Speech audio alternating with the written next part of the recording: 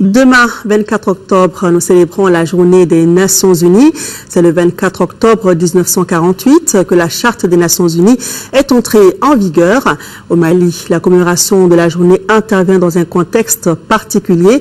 Écoutons le message du ministre des Affaires étrangères et de la coopération internationale, Zahabi Ould Sidi Mohamed. Ses propos sont recueillis par Alpha Maïga. La célébration de la journée des Nations Unies intervient dans un contexte pour notre pays qui s'efforce de sortir de la pire crise de son histoire. Dès le début de cette crise, l'ONU a répondu avec promptitude aux diverses sollicitations du Mali à travers la mise en œuvre de mécanismes qui ont permis le retour progressif de la paix et de l'ordre constitutionnel.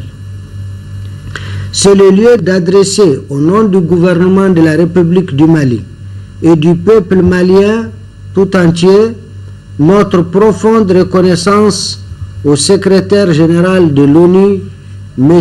Ban Ki-moon, pour son engagement personnel dans la lutte contre le terrorisme et le rétablissement de l'autorité de l'État malien sur l'ensemble de notre territoire national. Mes chers compatriotes, la situation tragique dont notre pays est en train de se remettre est symptomatique des défis que connaît la région du Sahel.